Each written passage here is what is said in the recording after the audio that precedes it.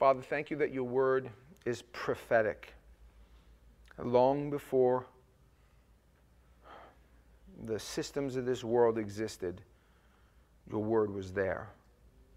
Thank you, God, that your word is everlasting.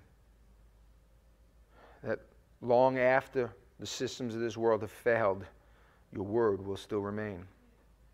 God, thank you that your word is tutorial, God, and that we can learn so much about ourselves and the direction we're going in and how to get out of them when we need to. So may the power of your word free us, help us to see, and help us to be in awe of everything that you're doing and everything that you've done. We thank you, asking these things in Christ Jesus. Amen. Amen. Now, if you guys remember, we've been going through 1 Samuel. We noticed, we saw that the Israelites had begun to have these crazy thing happen with the ark. You guys remember the Ark of the Covenant and the, the, the, tumors and all that other stuff happened. And you guys that you've been here, and we're coming to a time where Israel is becoming uh, a nation. It's forging itself into. They're becoming a, a people group, the nation of Israel, and as you become a people group, as you become a a living and moving, and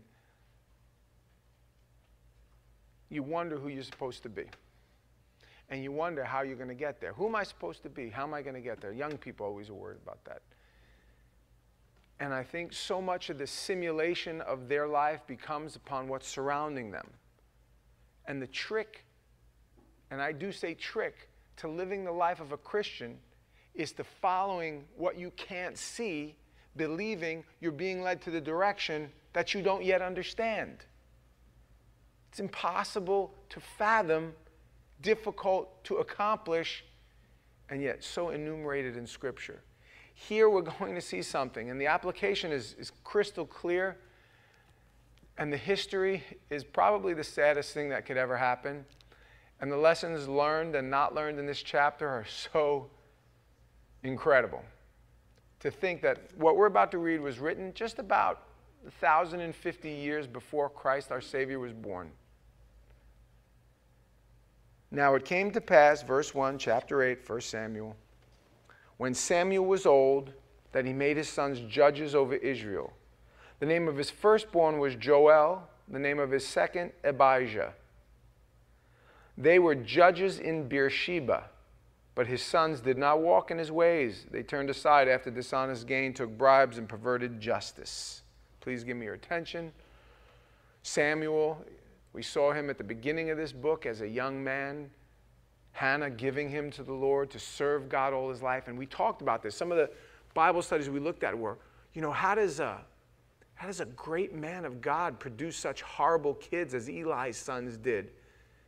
And we, we talked about punishing our kids and spanking. We, we did Bible studies about how to, how to know you're sure. And I don't want to go over the same thing again, but here is the sad truth of the matter is Samuel, same situation. Even though he had such a good mom and dad, even though he had served God his whole life, his sons, for whatever reason that we don't understand fully, they're not enumerated in Scripture, he made Joel and Abijah judges, and they were horrible judges. His kids went bad quick. And doesn't it seem like that in our lives sometimes? Application. God's fallen asleep. He did such good things in my life when I first got saved, when I first started going to church. But now, I don't know, man. I think He's kind of left me alone. I remember myself after about two years after I got out, uh, got out of prison, I was walking with the Lord for maybe three years. I couldn't hear His voice anymore. I just, I read the Bible and it was just like, I wasn't, I, it was just pages, just black dots. And, I remember praying and, and thinking, man, it, it just literally felt like my prayers were hitting the ceiling, like they weren't going anywhere, wondering where God was and what He was up to and what did I do wrong? I did something wrong. I must have. Must have unconfessed sin in my life or something. God had left me. God was drawing me out and saying, Are you going to have faith? The faith factor has to come in at some point in time. Like a little child. I mean, how many meals have you gotten, Joshua? How many meals? Can you count? Of course you can't. You can answer me. How many meals have you got? How many meals has Yaya and Poppy cooked you, given you, gotten you, bought you? Lots of them, right? You, you remember? You have it counted, do you? How many?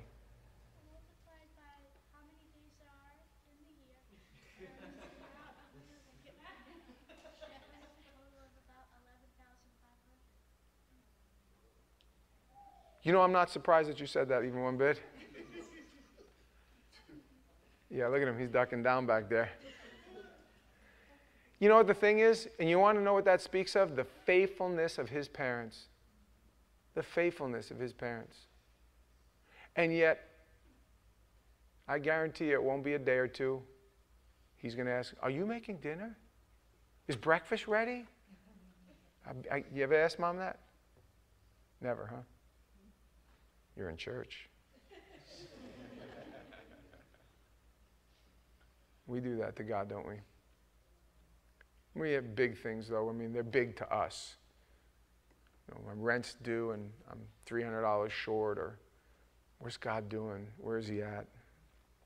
Verse 4 Then all the elders of Israel gathered together and came to Samuel at Ramah and said to him, Look, you are old, and your sons do not walk in your ways. Now make us a king to judge us like all the nations. You know what I got to do? I got to do like my buddy is doing. I got to do like, why, why don't we have a relationship like that person? Why doesn't it go down like that person? Why can't you be more like that person? The first thing we do is survey what's around us and think, they've got it so good. Quick story, and it's a good testimony, and, and I, again, I, I feel spirit led to say this. My kids, because they had never been in They've never been adults, they were still kids still. They used to look at other people's relationships and wish that, my, that their parents, me and my wife, were like them. Me and my wife, very opposite. We have a volatile but loving, beautiful relationship. We argue. It's, it gets, sometimes we, we fight, you know what I mean? She hits me every once in a while, just twice a week tops. I'm teasing, but we have a relationship. And because we love each other and we care about each other, we, we have these, these arguments. And my, my kids just, they want to, why, why can't you have a relationship like so and so? Why can't you guys have a, does, some women even will do this. They'll look at another guy and, why can't you be more like, you know, what's the greatest thing about being me and being your pastor is you, most of you women don't do that. I love that. why can't you be more like Lee? And you know what happened? They started spending time at these other families' houses. And you know what they found out? I'm really glad that you don't have a relationship like them. And this will happen, especially if you, if you guys have young kids, this is going to happen. This is normal. Ladies, this is going to happen. You look at somebody from the outside and you think, man, they, he's, they got it so good. They, they, everything, and this is what the Israelites were doing. They were looking at the other nations. They have a king. Is anybody, is anybody here one of those people that looks and they, they admire all the, the, the monarchies of, of England and, and all Europe and the kings? Anybody follow that stuff like Queen Diana or Princess Diana? Or, good. I don't like them. But some people do. I mean, they're huge here. I mean, every magazine that they're on sells, and Prince Albert did this, and Prince Guinevere or whatever did that. And Stop, come on. I don't know. I'm trying to keep it together here. Make us a king like the other nations. We want to have a king. Look how great kings are. But this thing displeased Samuel when they said, Give us a king to judge us. So Samuel prayed to the Lord, and the Lord said to Samuel, Heed the voice of the people in all that they say to you, for they have not rejected you, but they have rejected me, that I should not reign over them. You guys hear that? He was so upset. He's like, Why are you complaining? You have so much. God is, look, look what He did. He led you out of Egypt. He fed you with manna for 40 years. He, he crossed the Jordan with you. The walls of Jericho. Look at, He put water for. What does it matter? Don't forget what God has done in your life. In the book of Revelation, He says, return to your first love. Don't forget. I remember, again, being in that wilderness and wondering, am I ever going to hear God's voice again? And asking a friend of mine, Owen, he was a pastor, man, I don't hear God anymore. I don't hear him anymore. I don't sense, I don't feel his presence. When I'm reading the word, it's like, it's just a book. And he said, it's the wilderness, it's the desert. It's a great place to be. I said, don't feel like a great place to be. He goes, well, that's your first problem. You're feeling. If God doesn't show up and give you some warm, tingly feeling when you're reading the Bible, does that mean He's not real? You forget what He's done? Does God owe you? I struggle with that, guys. I did. I was like, man, it's just, I guess He doesn't owe me, but I miss Him. And I forgot a lot. We always think if, if I lived in the days of, of the apostles and I saw all the miracles of God, I would never, ever forget about it. Really. we forget what God does in our life uh, the day before yesterday. You didn't have the rent money and a check came in out of nowhere you didn't expect, a job popped up, you did something, somehow it worked. And the very next month, we're doubting all over again. Oh, that wasn't God, though. That was some work I did. And it's like, the Israelites.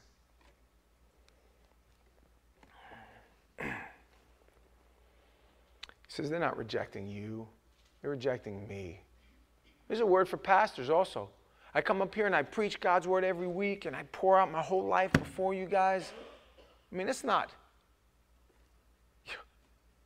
you know, some guy, somebody came up to me at the, at the cookout. We did a cookout. You know, if you guys weren't there, you missed a really fun time. And he says, Man, you know, uh, you said that your religion is jujitsu. So I don't want to say this, but. As soon as those words left his mouth, I go, Well, that I won't be saying again. He totally missed the point. So much I leave out there, and it's like, ugh, I wish I wouldn't have said that, and I wish I wouldn't have said this. And and you pour your life into people and they leave you and you just want to help people. It's like, I'm not trying to take advantage of you. I want nothing from you. I just want you to make it. Every once in a while, the Lord knocks on your heart and He gives you this word. He goes, It's not rejecting you, Ryan. They're rejecting me.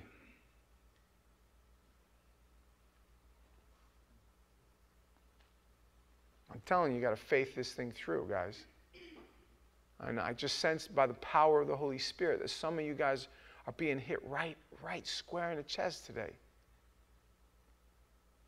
You don't need a king. You don't need a man. You don't need a woman. You don't need kids. You don't you just need God. Remember what he's done. Hold on to him.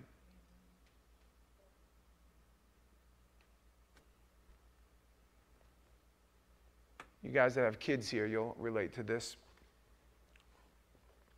You give your kid a great present. First birthday, we have a tradition in our house. We, we get a cake. We get like a $5 Publix cake, and we put it right on their, on their um, what do you call that thing? High chair. Thank you. Put on a high chair and happy birthday. Hold their hands back. Happy birthday. We sing the happy birthday, and then we go, go! And we film it.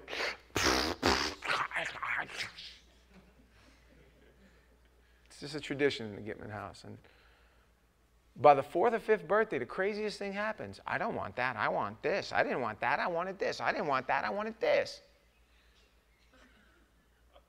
And I look at it every time when the kids do that and I go, that's me with God.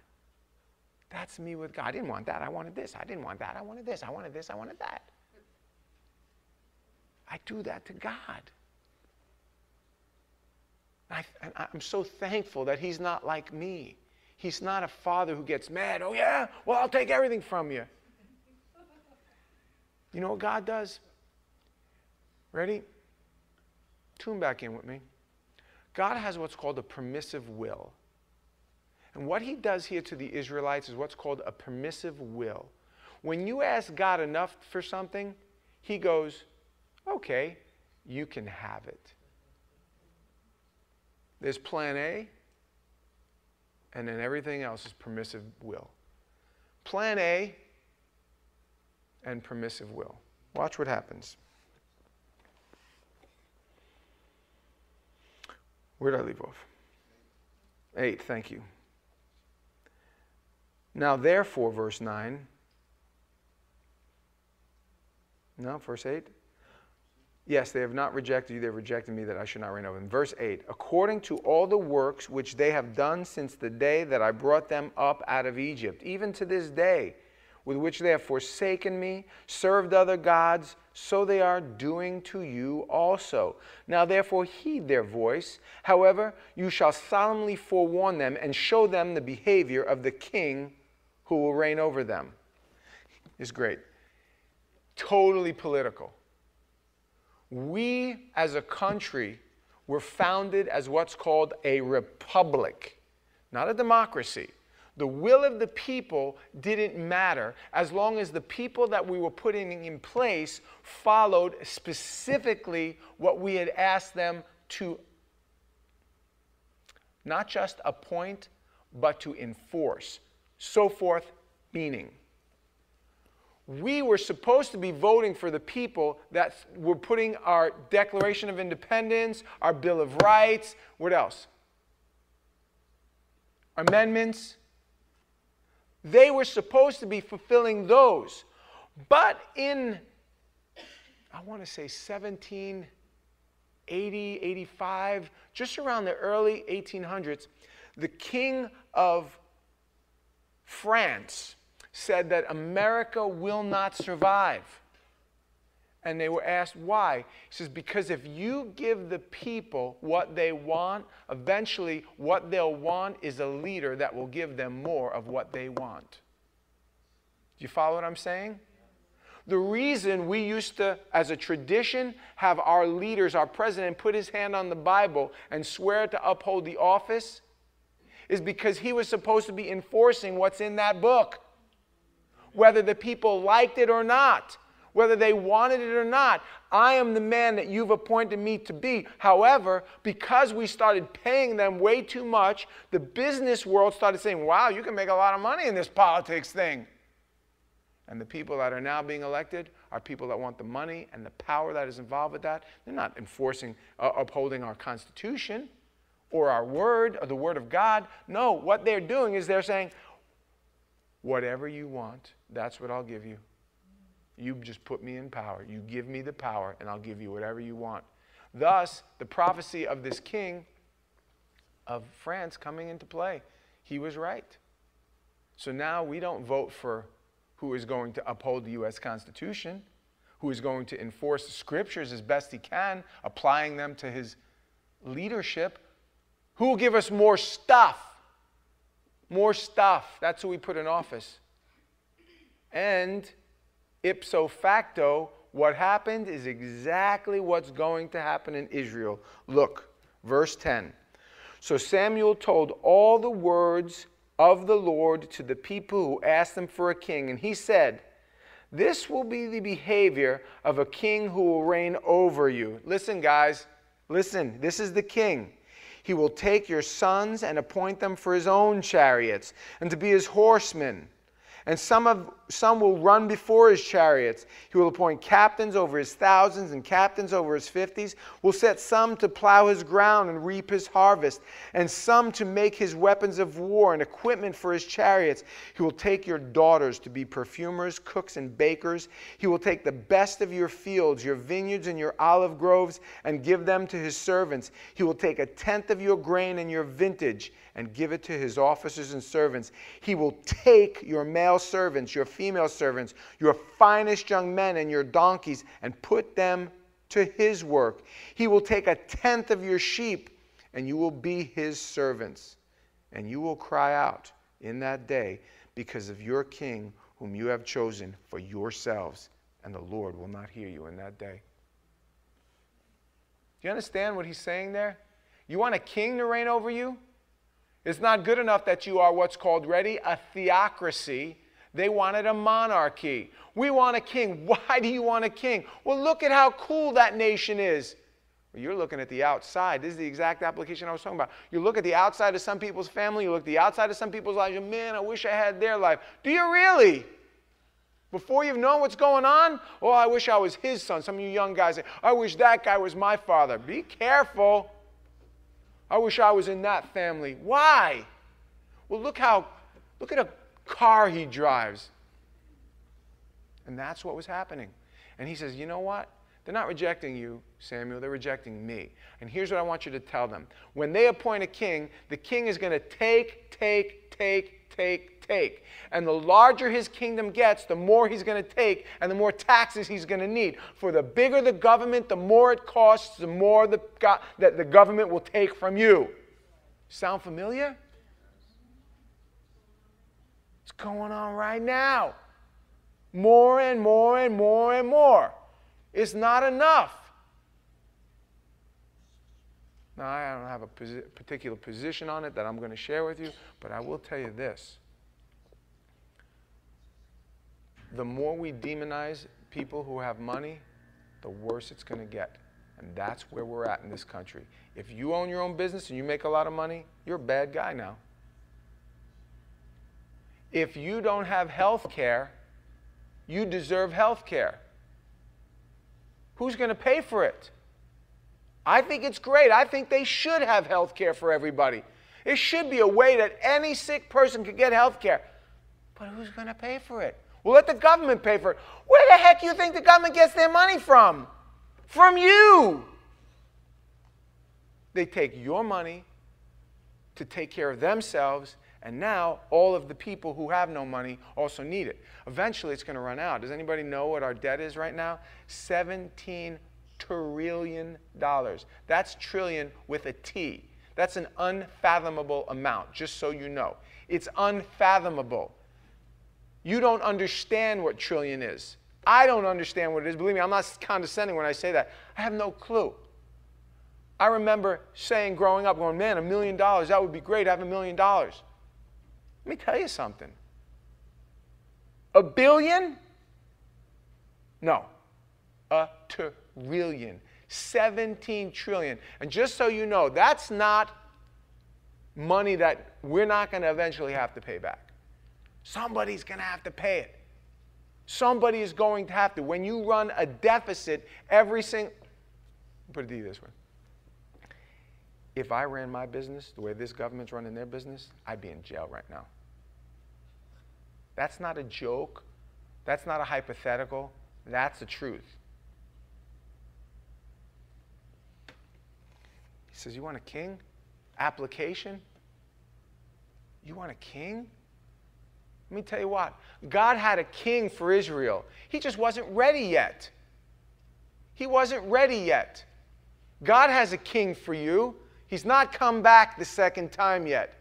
Came the first time, they put him on a cross. The second time he comes back, he's going to be a ruling, powerful king. Wait for your king. Wait for your king. Don't appoint some man as your king, ladies. Gentlemen, don't appoint some career or some job or some sport or some education as your king. Be careful. Look what happened to the Israelites. I tell you, if you appoint a king, what kind of king you're going to appoint? I want to appoint a king who loves me. I want to appoint a king who cares about me. I want to appoint a king who has my best interest in mind.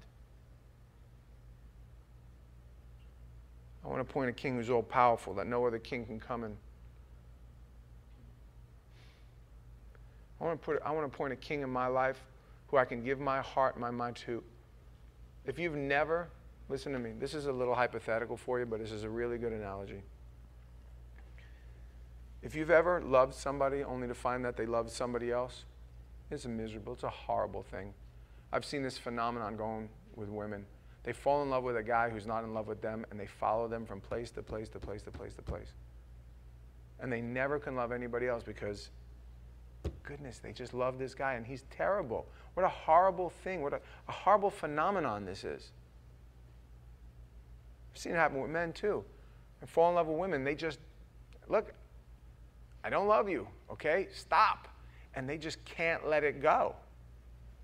And they carry a torch. They even get married, but they still love this. Jesus don't do that to us. You love him, he don't ever love anybody else as much as he loves you. It's the craziest thing. This is ready. This is, goes back to one of those unfathomables, like the whole trillion thing. Do you know this morning I spent about an hour in prayer with the Lord, and it was so real. It was so beautiful. I had such a great time with my King this morning. And some of you guys that prayed this morning, you had the same experience. And that's a little weird to me. It's like, well, I was with him this morning. No, you weren't. I was. The word spoke to me this morning. I'm telling you, the Spirit moved on my heart this morning. And it was great. We had this one on one time, just me and my bud, me and my best friend. He's like my big brother, he's like my daddy. And you could have spent the same time. And this is the only thing this ever happens with. Never, ever, ever, ladies, will you give your love to the Lord and it will not be returned. Never. Never. Like, never. I mean, Never. never. That's awesome. That is awesome.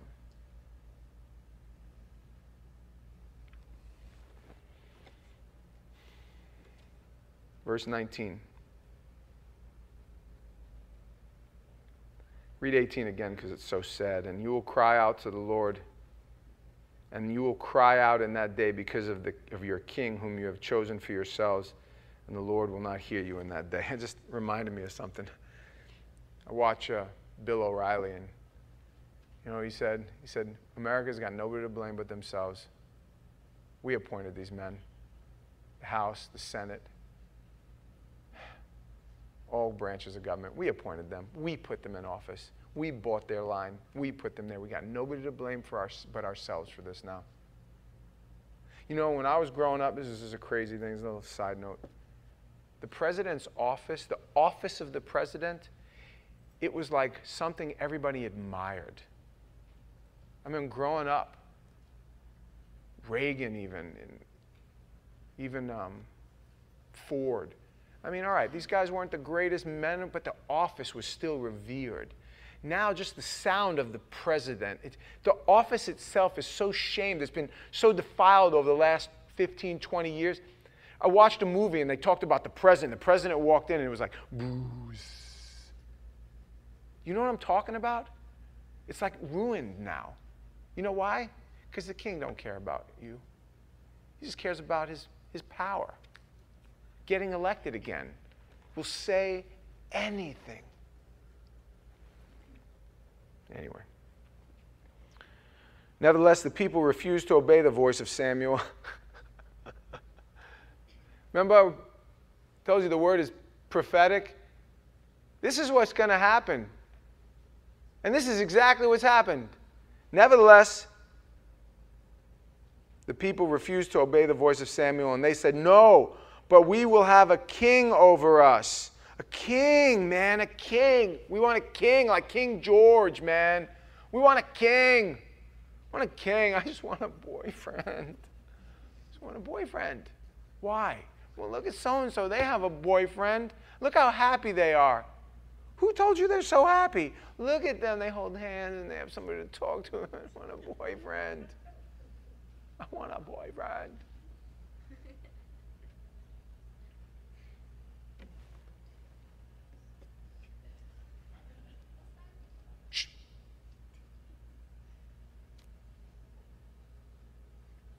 God's going to give you your, He's going to give you up to your will. He's going to give it to you. And you know what He's going to do? It is a crazy thing. He's going to, he's going to give you what you ask for, even if it's bad for you.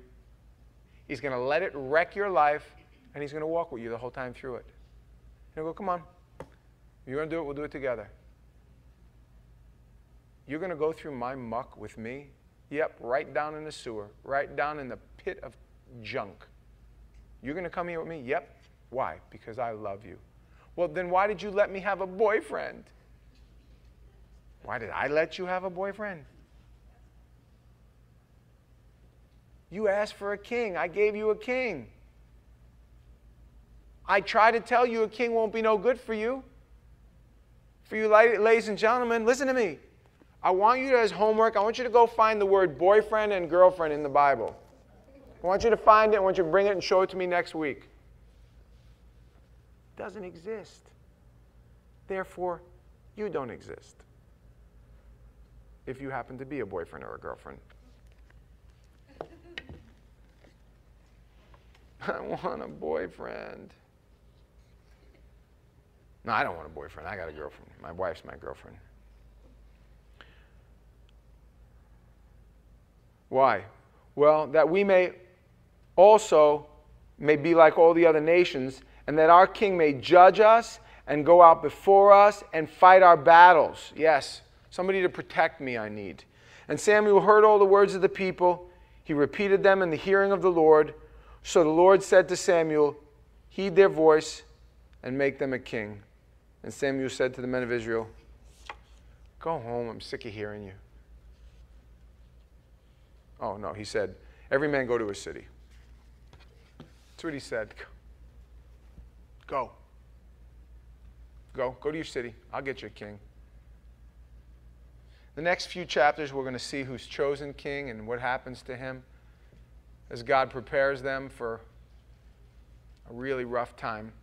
All things, though, working together for good. You can close your word. Guys, I know that this is a really difficult thing to hear because you can't see God. And even when you feel Him, you're not supposed to feel Him. And as we walk by faith and not by sight, and eh, listen, I know there ain't nothing easy about this thing, but it is the most rewarding. After 20 years, more than 20 years now of walking with the Lord, I can honestly say to you, it's been the most difficult thing I've ever done. But it is also the most rewarding. When I thought I needed money, money, money, when I thought I needed women, women, women, when I thought I needed power, power, power, when I thought I needed all those things, none of them satisfied out of the things that I did achieve, which wasn't a lot of them. Walking with the Lord, I've not just found, the Lord put it this way Seek first the kingdom of God and his righteousness, and all those other things I'll give to you. But those other things will always take you away from the one thing that's most important if you seek them first. Seek God, He'll give you everything you want. You want a boyfriend? Love Jesus with everything you got. He'll bring you the best boyfriend you can imagine. And I don't mean him, I mean, He'll bring you a boyfriend. I was talking to a young man just a couple of months ago. And I asked him how much he dug this chick. You really like her? Yeah, I really like her. I said, then why don't you just love Jesus with everything you got, and he'll give it to you. And I could tell just talking to him, man, what if he doesn't? Then he'll bring you a better one. But I really, listen to me. This is your Father in heaven. Don't you understand? He knows what you need, He knows what you want, He knows better than you. He knows what's in your heart. You say, Oh no, I want a blonde guy with big blue eyes and a big wide jaw, and I want him to be like six foot four. And he brings you some shrimpy bald guy with nostril hairs. Oh no, he's not the one I wanted. And then all of a sudden you, oh, he's, he's not so bad. And then all of a sudden you get married, and the big, tall, blonde guy loses his hair and ear, hair starts coming out of his ears and he gets nasty and and your and your and your little bald guy don't change. And you're like, man, I am so glad God didn't give me what I was asking for. I'm so glad. I was asking for something that I didn't even know in the end. You understand? Give me a king. Give me a king. He's right there. He's right there.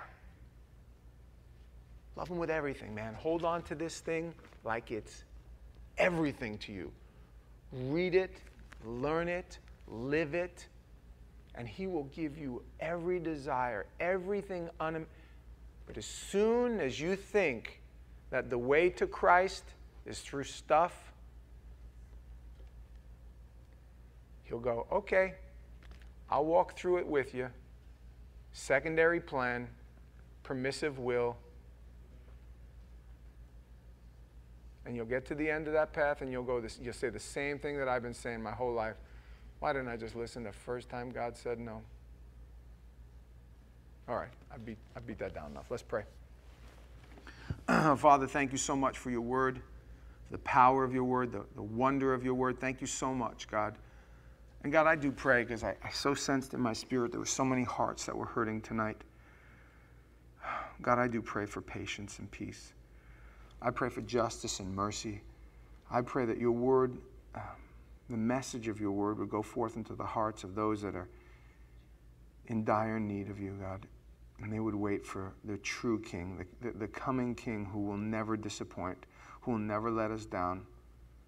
Thank you, God, for being more than our Savior and friend, but our, our, our, true King.